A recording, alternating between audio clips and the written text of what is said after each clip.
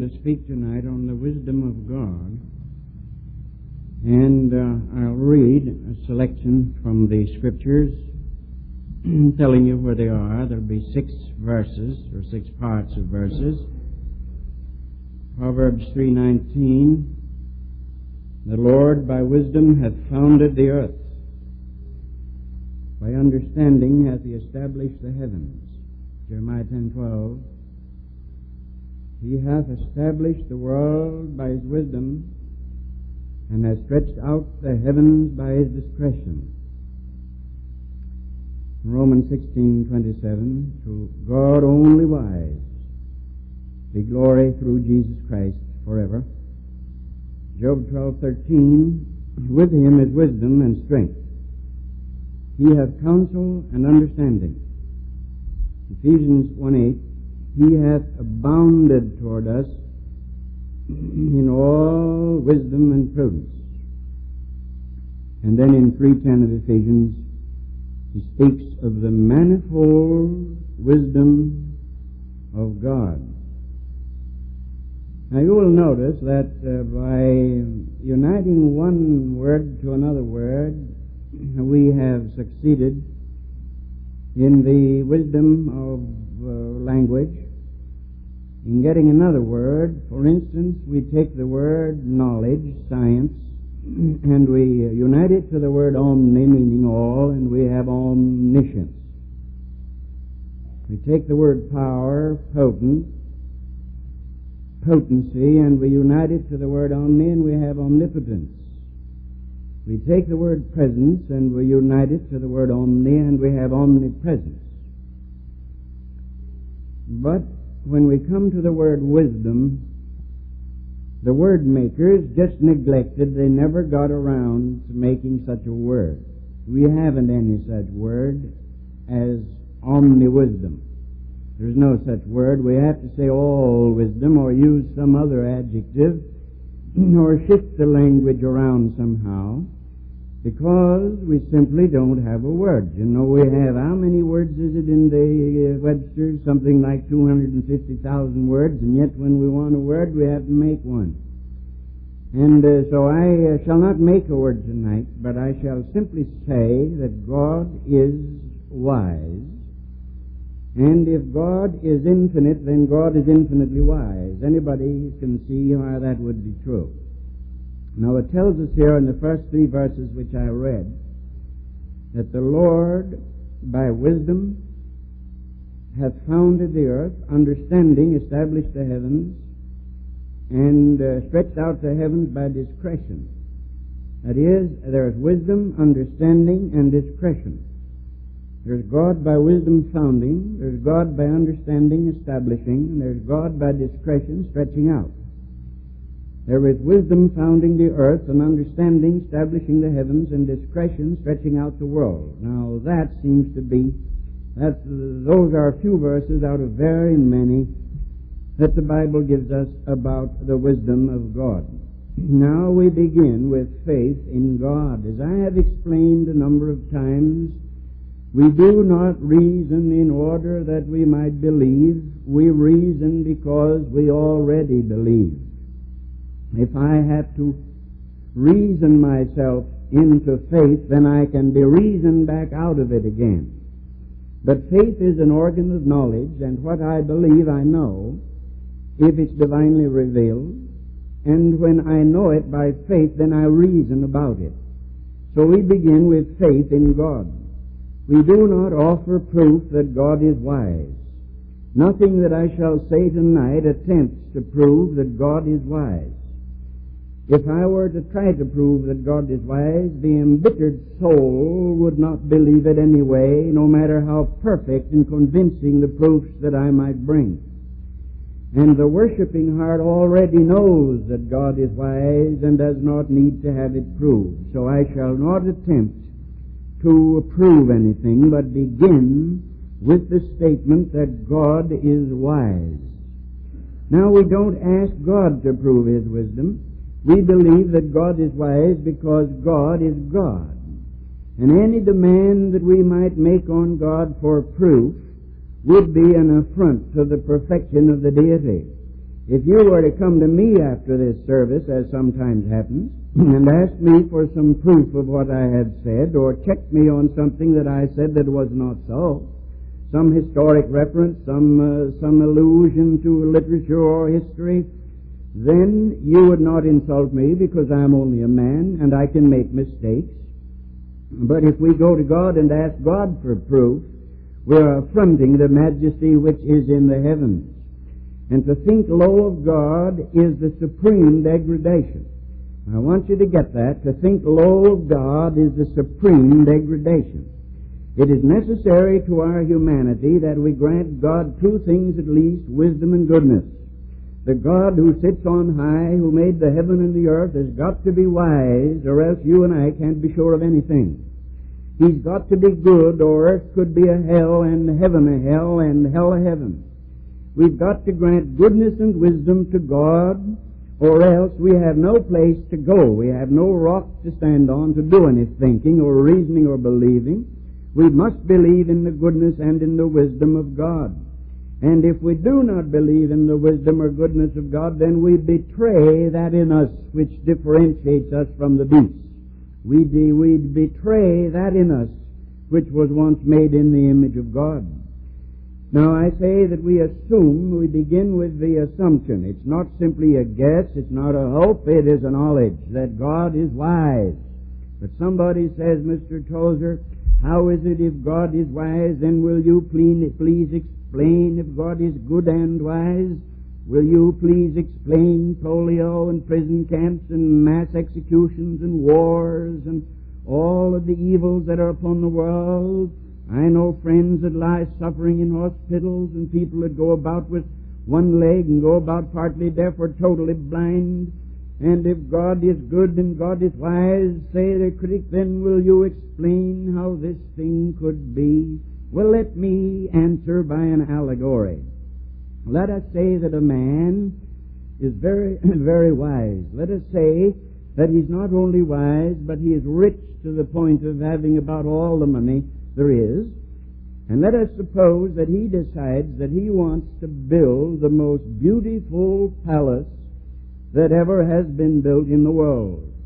So, in some little country, say in Europe, he gathers together, because he's able to pay for it, he gathers together the finest artists and architects, the finest designers that can be found anywhere. He combs the nations of the world and buys the top brains and the top genius and the top talents of the world, brings them there. Then he says, now I have so many hundred million dollars to put at your disposal. Money's no object. I own, I have vast holdings in Canada, in the United States, in Germany, in Australia, and around the world, and money's nothing. Make any demand and I have it. Now what I've conceived is this. I want the most beautiful building in all the world. I want its, its uh, floors to be gold. I want its walls to be jasper. I want its, uh, its appointments to be carved ivory. I want it to be studded with diamonds and rubies. I want it to be the epitome of all that is beautiful, all, all that is gracious, all, all that genius can create. I want it to be that. I want it to be so that when it is finished, it will be the talk of all the world. I want from everywhere, from Broadway and Piccadilly Square to the jungles of Africa and Borneo, I want people to talk about that palace. Now go to work. Give me the best that you can give me. And they build it. And they build it. And they pool their wisdom and their genius and they build the most beautiful building, a building that makes the Taj Mahal look like a barn. It, it, it's infinitely beautiful if you could use the word infinite in its proper, in its improper sense. It's, it's beyond all possible beauty, this, this palace. Well then, let us suppose that after a year or so, let us suppose that the political fortunes change and a conquering army comes in and takes over that little country. Let us suppose that the great uh, soldiers who come in, the great tough barbarian soldiers with their hobnailed boots. Let us suppose that they come in and brutal army officers, And let us suppose they care nothing about beauty, they care nothing about art, they care nothing about the, the diamonds and gold and studded walls, they care nothing about it. Let us suppose that they that they put their horses in those rooms, and they let us suppose they spit on the floor and throw beer cans all over the place and make a wallow out of it, all over the place, a wallow out of it, and dirt and, and, and old rags and filth of every kind fill the place, and the man who owns it has fled into exile for his own safety. And all the artists who were gathered in there to make it are gone to the farthest reaches of the world to hide away, while the heel of the barbarian treads down the little land. And somebody passing by whispers to somebody else, there's the palace, there's the great palace, there's the wisdom, there's genius, there's talent, there's beauty, there's wealth, there's art, there's architecture, there, there's painting, there's sculpture, there is the greatest, greatest concentration of universal beauty known in the world. And the person says, why, uh, that doesn't smell like it to me and it doesn't look like it to me. It's a pen. It's a, it's a, it's, it's a den. It's, it's a goat's nest. What do you mean? It's beautiful. The man said, just a minute, just a minute. Wait, wait. There's been a war and there, this, we're an occupied country. Wait. And after a while, the fortunes of war change again, and the nation that conquered is driven out, as Germany was driven out of France and out of Belgium and out of the other little countries. And let us suppose that these bestial and brutal men were driven out, and the rich man comes back from some faraway retreat and says to his his artists and his architects and his sculptors again now let us go to work on this. Let us clean it up. Let us let us begin at the bottom and let us go to the top and let us clean it and, and put it back in shape again. And after a year or so of working on it, it stands one time more shining in the noonday sun, the epitome of all beauty and the essence of all that man can possibly do. And once again, round the world, the newspapers and the television and the radio and the lectures talk about it, and the preachers use it for an illustration. It has been seen once more that this, after all, is the most beautiful thing in the world. Once there was someone named God, God the Father Almighty, maker of heaven and earth. And he turned his mighty wisdom loose in the making of man, and he said, Let us make man in our own image. Then he made a garden eastward in Eden, and he put man in it. And he said to man, I'll make you a, a help meet. And he put man asleep, and from his rib, he, from his breast he took a rib and made a woman, and said, This will be your mate, your wife. And he called her name Eve. And then Satan came into the garden eastward in Eden and wound himself and twined himself about the trees of the tree, the limbs of the tree of life, and he began to whisper his insinuations against God. And then came the fortunes of moral war changed, and Satan came in and took over, and man sinned and betrayed the God who had made him. And that which used to be the most beautiful of all gardens, the most lovely of all worlds, populated by the most radiant of all creatures made in the image of God, now is turned into a goat's nest and turned into darkness. Darkness. This man down here can tell you he's seen the seamy edges of it, the seamy edges of it, the bestiality of it, more even than we. And so the critic walks about as the two imaginary friends did by the palace, and they say, You tell me that a wise God made this goat nest? You tell me that a wise God made this polio and, and, and made these prisons and, and made, made these, these awful cities? I was down in New York three days last week, and I was glad to get out of it. The newspapers were saying it's a jungle, it's a jungle, and the chief of police I, was quoted as saying, I wouldn't let my daughter walk on the street. A jungle. And then somebody says, now you tell me this is an evidence of the wisdom of God. This jungle that you have here. I say, just a minute, just a minute. God in His great wisdom and in His providential dealings with His world has allowed foreign soldiers to occupy. And this epitome of all beauty, this flying ball we call the earth that rolls round its orbit this glorious home of the creature made in the image of God is now under a cloud, now under a shadow. And it says, tells us in the book of Romans that in the eighth chapter tells us that we are, that we are waiting, The creature was made subject to vanity not willingly, but by reason of him who has subjected the same in hope. Because the creation itself shall be delivered from the bondage of corruption into the glorious liberty of the children of God. For we know that the whole creation groaneth and travaileth in pain together until now. So, by my allegory, I have explained how God Almighty is wise, and that God's wise plans will be carried out, but that God, in His wisdom wiser than we, has allowed for little time the occupation. And the world we live in is under occupation. The world we live in with its cyclones, its tornadoes, its tempests, its tidal waves, and its, its forces of destruction. This is under occupation. And the soldiers of the devil march up and down in it, and with their boots and their ignorance and their lack of appreciation, they catch God's beauties and destroy it in the state of Pennsylvania where I was born, that fairyland, that You've driven through it. You know how beautiful it is. Rolling hills and flashing streams and waterfalls and meadows and all, all the little lovely forests. You know how beautiful it is.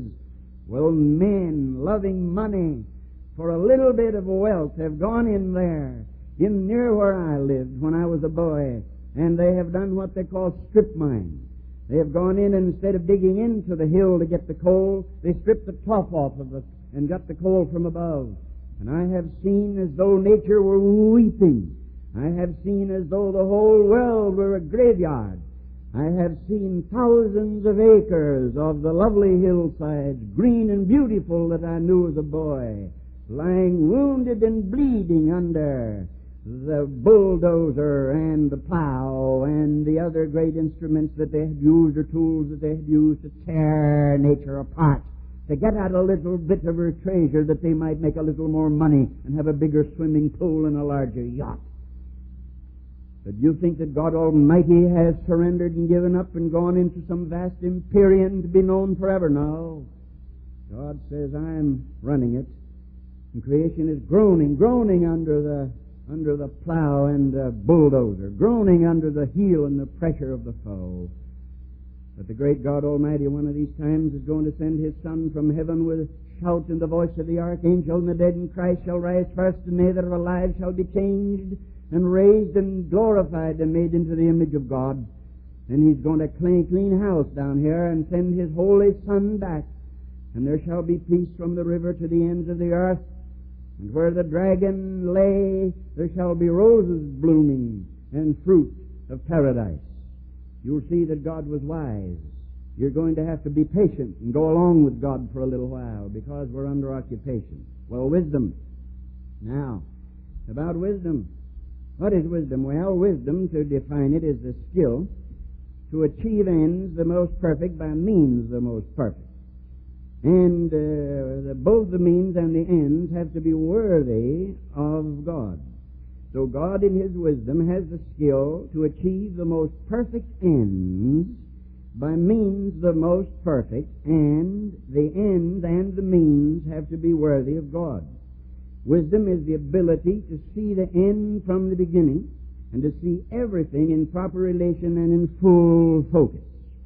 And to judge in view of final and ultimate ends and to work toward those ends with flawless precision God Almighty must be flawlessly precise. And he must do everything. God doesn't bumble. He used to say, you know, what would they call the Brit- British used to say about themselves? They say they muddled through. Yes, that's a good phrase. The Britishers used it of themselves. They said, we muddle through. Well, they get through somehow, but it's muddling.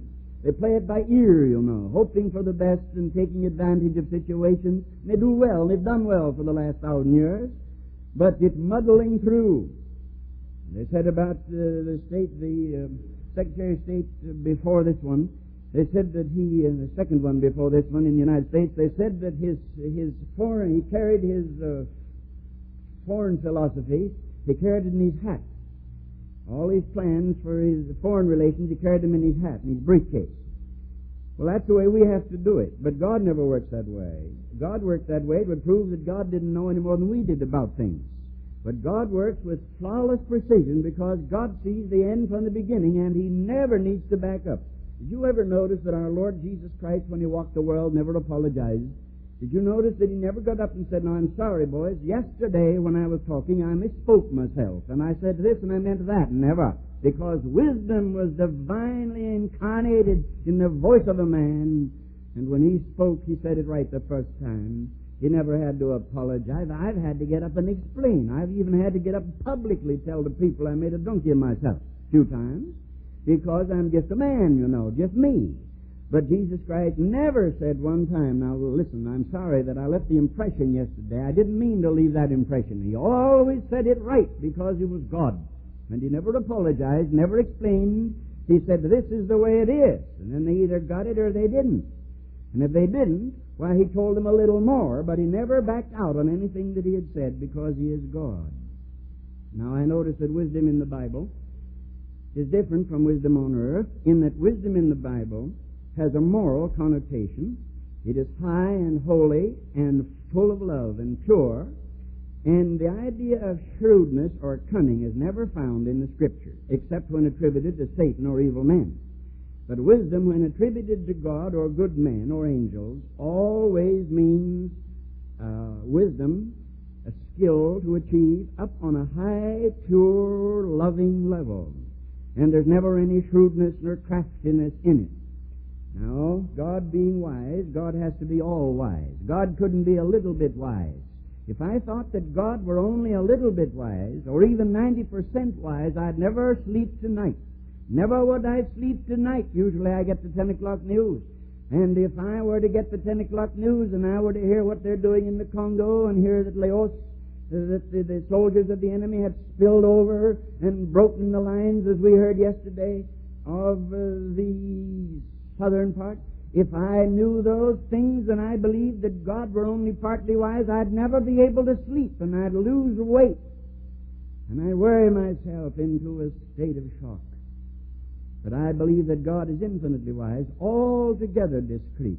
He founded the heaven by His wisdom, and uh, He founded the earth by His wisdom, and by His understanding He established the heaven, and by discretion He stretched out His world and we don't have to worry about it because God is wise. And being wise, He's infinitely wise. Now, the wisdom of God then in planning His world and in planning His creation, in planning His redemption, the wisdom of God and God being good, God has planned for the highest good, for the highest number, for the longest time.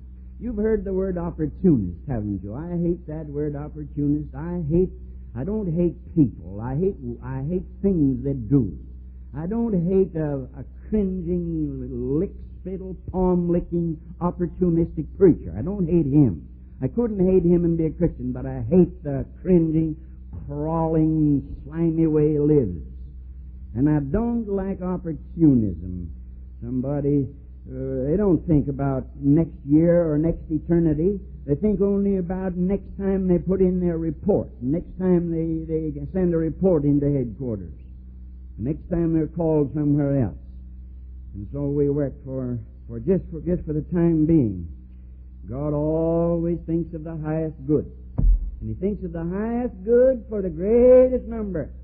And then he thinks of the highest good for the greatest number for the longest time. God always thinks in terms of chains of eons, chains of eternities.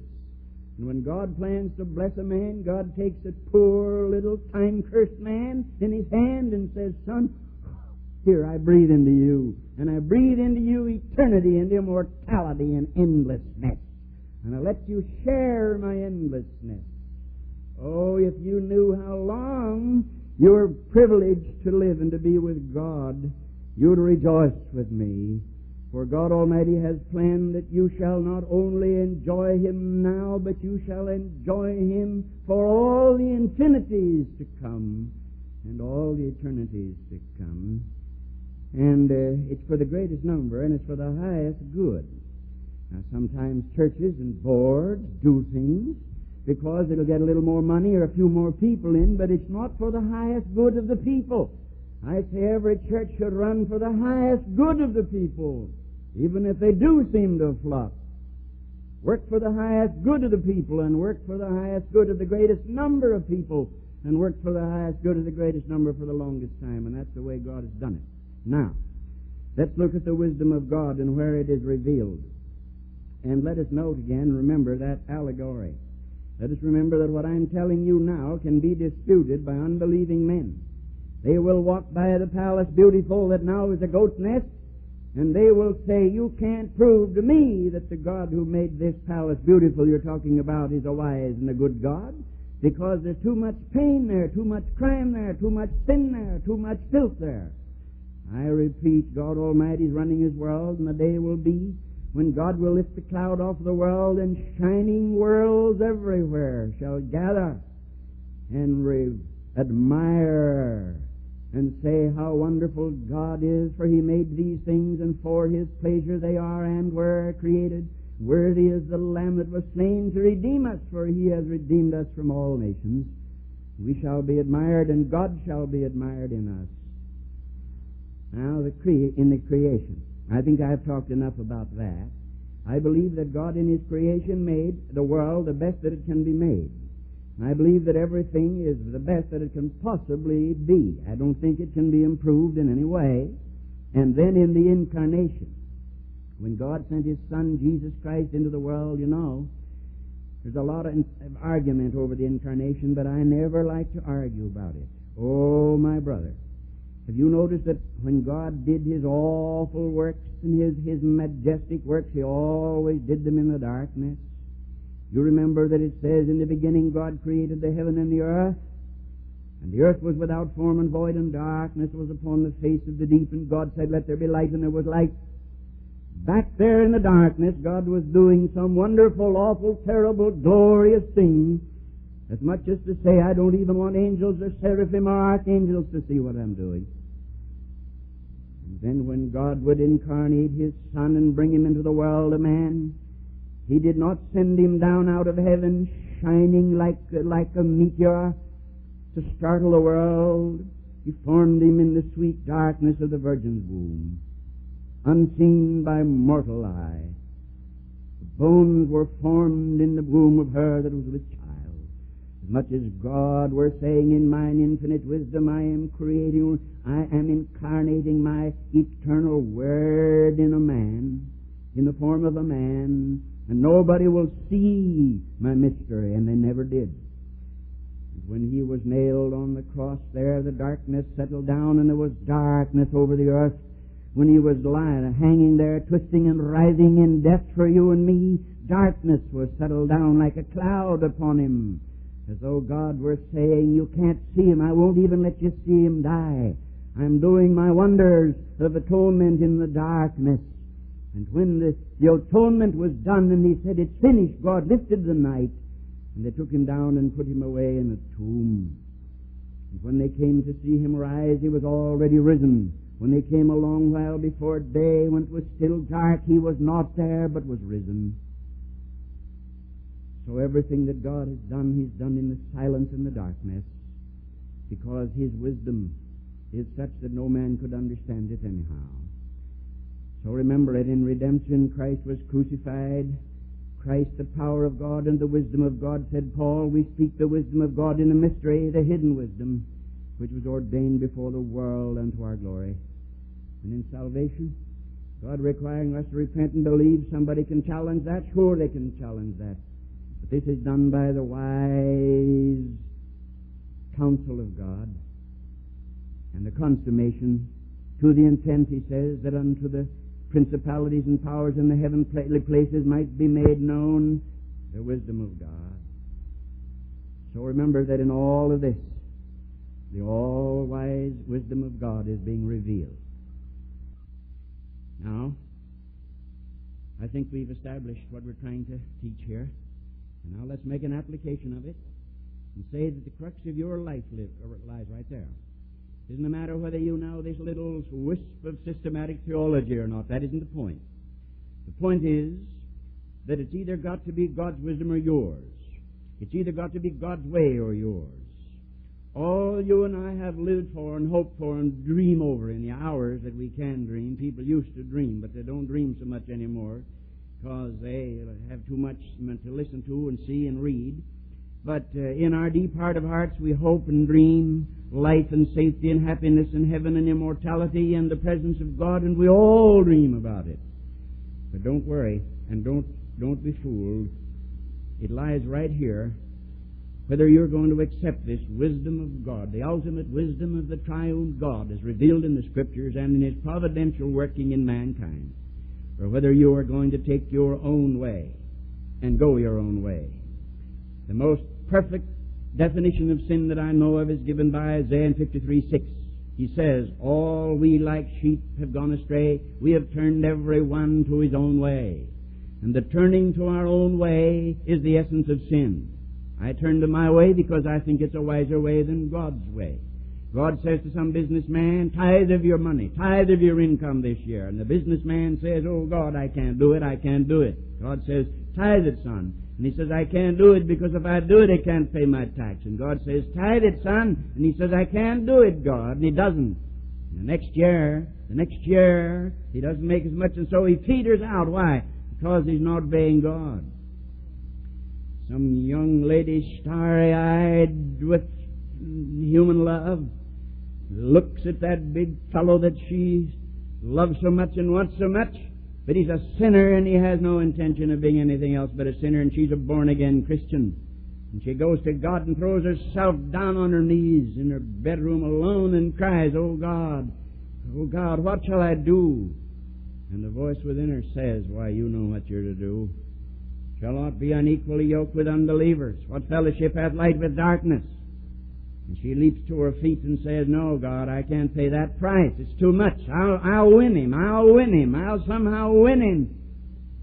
And so, compromising, she takes her wisdom against God's wisdom and she marries the guy. And he hasn't more than married her until he refuses to go to church at all and her life becomes a hell from that hour on. And then five years later, two or three children and a broken heart and a husband gone, she comes to a pastor and says, Pastor, what can I do? And the decent pastor, not wanting to hurt her feelings, doesn't remind her that there was a time back there when the wisdom of God said, Don't marry him. And she said, I know better than you, God. And so everywhere in our lives, this is the crux of our life. This is the difference between revival and a dead church. This is the difference between a spirit-filled life and a life that isn't spirit-filled. Who's running it? Who's boss? Whose wisdom is prevailing? The wisdom of God or the wisdom of man? In all the providential dealings of God with me, I must take my stand and decide that God's way is right. That God's way is right. When things seem to go wrong with me, Instead of believing they're going wrong, I believe they're going right. I take Romans 8:28 and I say that all things work together for good to them that love the God or the called according to his purpose. And I've got to decide whether I shall do my way or trust blindly in the wisdom of God. If I trust blindly in God's wisdom, God will lead the blind by a way he knows not. He will guide him in paths where he's not been. He will make, make, make darkness light before him and crooked things straight, and he will lead him through, and when he has tried him, he shall come forth as gold. And God will lead him into a rich place and make him rich with treasures that can never die. But if he wants his own way, the Lord will let him go his own way. And there's Christians, whether we insist on our plans and our ambitions, and or whether we will take God's way, and if we insist upon our plans and our ambitions, we imperil everything that we have because we lack the wisdom to know how to do it. You daren't, you daren't run, you daren't run your life. We got in the plane down in Idlewild, I did. Oh, the plane full, but you know how we are. We always think of ourselves. And I and they, you know, we were in the plane, full of us. And uh, we started off, and it was terribly windy. And uh, lady newspaper editor sitting alongside of me, man, middle aged, and he'd flown a lot. But he said, this turbulence, he didn't like the turbulence. This turbulence, it's strange about this turbulence. Well, I said, when we get over the, away from the city and get up, it'll level off, and it did. But when we were in that turbulence, I didn't jump up and run up ahead and say, now listen, boys, let me take over. You know where we'd have been if I'd have taken over? We'd have been nose down in Times Square. I didn't take over. I let the boys have it.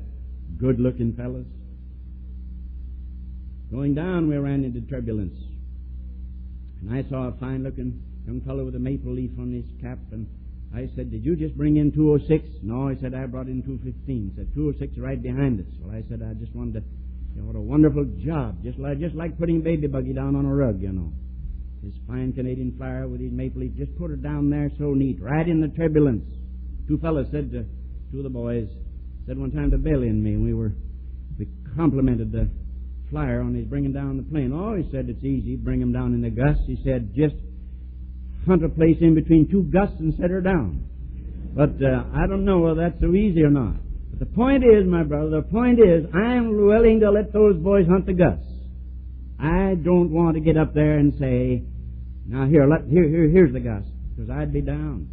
I don't mind when you're landing or taking off, but when they you're flying up there at 17,000 or 21,000 feet, and they say, the sign comes on, fasten your seatbelt. I say to myself, uh-oh, what are we in for now?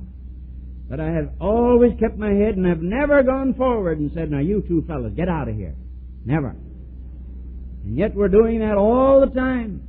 We're doing that all the time.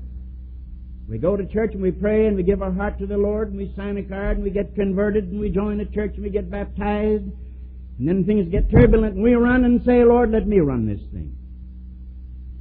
And that's why we're where we are. And that's why we're in such difficulty. That's why we're that's why we're messed up so much in our Christian lives.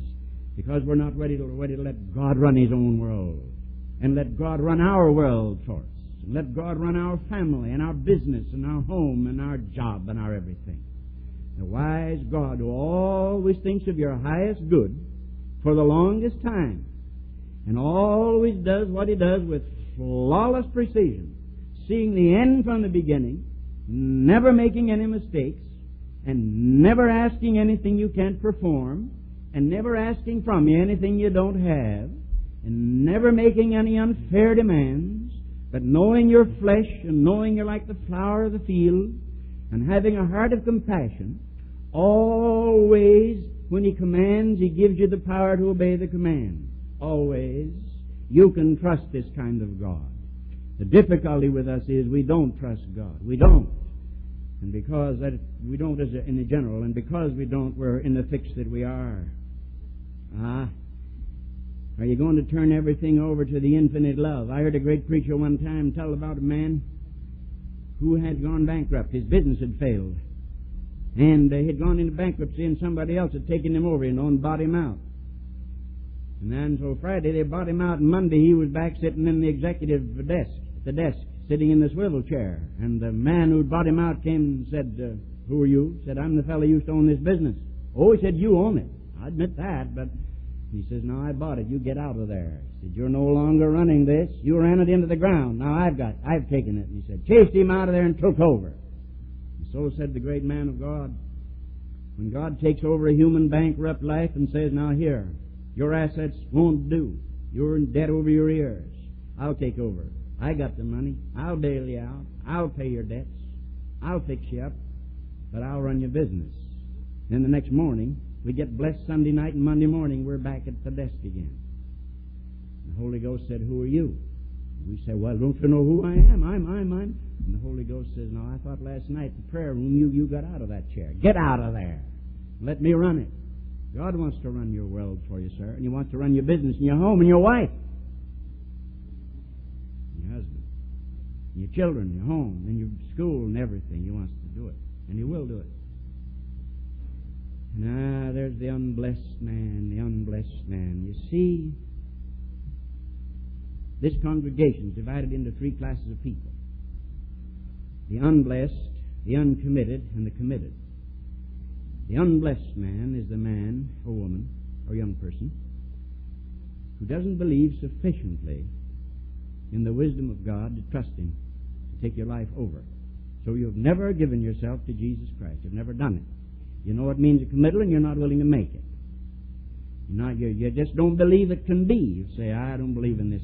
I believe in God all right and I believe Christ died for my sins, but, but I am not ready to, to surrender myself and let God run my world. All right, that's the unblessed man. He's out of the fold. He's unborn again. He's unblessed. Then there's the uncommitted. That's the person who is not a rebel against God, particularly, who has accepted Christ, as we say, and had some kind of spiritual experience, but they've never been willing to turn their lives over.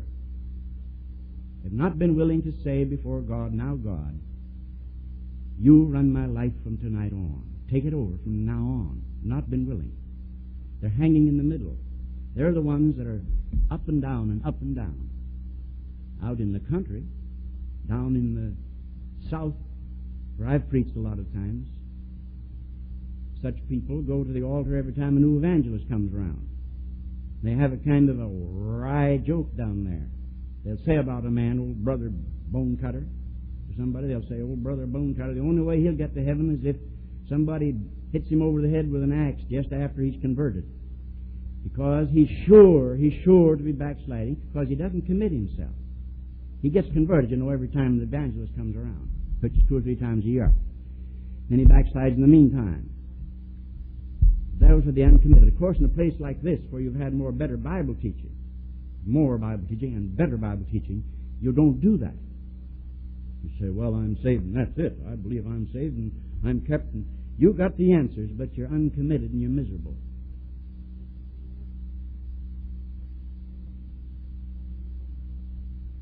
Man wrote me a letter. I got it when I came home from New York. Read it Friday night before I went to bed. Said, Brother Tozer, I've just heard a tape of a sermon you preached on the five vows. I think I don't know whether I gave it here or not. And he said, I'm called to preach.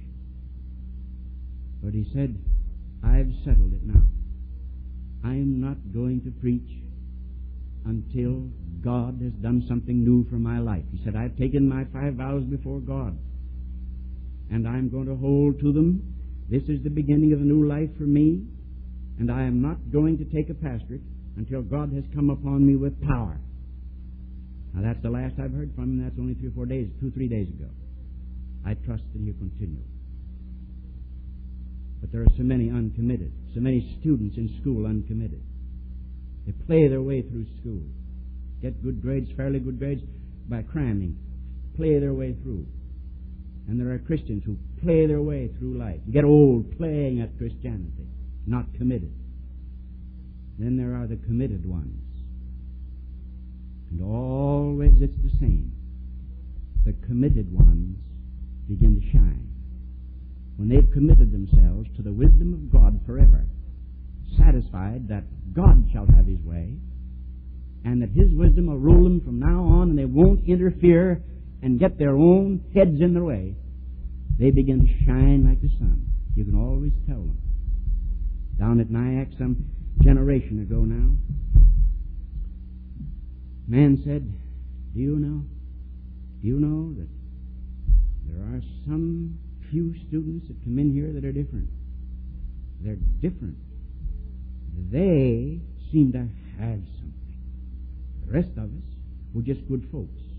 But these few seem to have something. He said, You can always tell it. And you can. They're the committed ones. They're the ones that have gone to God and have said something to this effect Now, God, our Father, my Father, from this moment on, take over my life. Run it. I'll not interfere. I'll not complain if it's hard. I'll not get discouraged if it seems to fail, nor elated if it seems to succeed. Thine be the glory. Thine be the honor. I'm committed, Lord. Committed to eternal wisdom. Committed to Thee, the one that thinks of my highest good for the longest time. And I'm not going to dishonor Thee by doubting. Now you can, you can make that you can make that decision just as you can stand up and get married, just as two people can stand up and say, I do, I do, and get married. Settle it. No matter which directions their emotions may be all over the building, they've settled something by a vow. So you can go before God this night and you can pull that ragged, uncommitted life into full committal. And you can say before God, Not worrying at all about the feeling you have. Oh God, here I say, I do, God, I do. And God says, Wilt thou from this hour forsake all others and take me? And you say, Oh God, I do. And will you trust me? Will you trust my son to run your life and not try to run it yourself? Answer, I do. You answer, Oh God, I do. It becomes to you what the vows of wedlock become. Changes the course and direction and relationship of your life. Some of you wonder why. You've listened to preaching from this pulpit, and you've yearned and longed, but you haven't received because you haven't committed. You're not a rebel, but you're in the state of non-committal. You're afraid. Are there those of you here tonight that dare to trust eternal wisdom? That would dare to say, Oh God the Father, excuse and forgive me for doubting. Thou art infinitely wise, and I need infinite wisdom in my ignorance. Take over my life and be my wisdom. Take over my life and be my righteousness. Take over my life and be my sanctification. And you will say, Now, God, I want to make this vow tonight. I want to stand up tonight and say, I do, I do, and make my vows before Thee tonight. That from here on, the knowledge that Thou art eternally wise will be the anchor and the pole star of my life. It'll work. It'll change your whole life. It'll change its whole direction. It'll be like putting a foundation under your building. It'll stabilize you and strengthen you do everything for you. Let's stand.